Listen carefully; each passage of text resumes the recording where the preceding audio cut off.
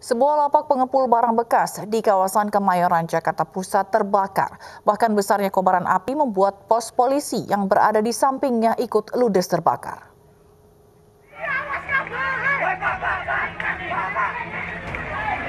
Kobaran api dengan cepat melahap habis sebuah lapak pengepul barang bekas yang berada di kawasan Bendungan Jago, Kemayoran, Jakarta Pusat, Minggu sore. Banyaknya bahan yang mudah terbakar serta kencangnya tiupan angin membuat api melahap habis seluruh bangunan lapak. Tidak hanya lapak pengepul barang bekas yang terbakar, besarnya kobaran api juga membuat pos polisi yang berada di sampingnya ikut ludes terbakar. Sejumlah warga panik berupaya menyelamatkan harta benda lantaran khawatir api menyambar ke permukiman. Kami dari belakang uh, pabrik kardus ini, apa apa kardus. Tadi sempat mati lampu katanya Pak. Sebelumnya mati lampu dulu, ada yang mati lampu dulu, mati lampu dulu baru Tiba-tiba api. uh, api besar. Sementara itu, sebanyak 21 unit mobil damkar dikerahkan ke lokasi memadamkan api. Kebetulan alhamdulillah eh, juga kita dekat dengan, dengan sumber air.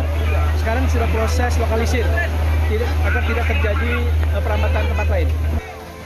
Belum diketahui pasti penyebab kebakaran. Dugaan awal, api berasal dari hubungan pendek arus listrik. Dari Jakarta, Tani Sanjaya, iNews melaporkan.